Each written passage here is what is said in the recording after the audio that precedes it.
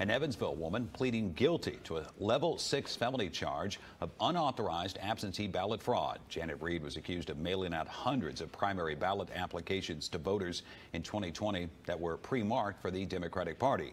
Reed will be sentenced July 1st at 9 a.m. in Vanderburgh Circuit Court. Her potential sentencing ranges from six months to two and a half years in prison. New